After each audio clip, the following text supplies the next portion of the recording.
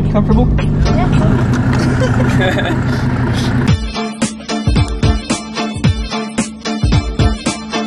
Ready to go for a ride in a 700 horsepower Viper? Hell yeah, can't wait. Hi, it's Maria Doroshina, and today we're gonna go on the ride in this TRC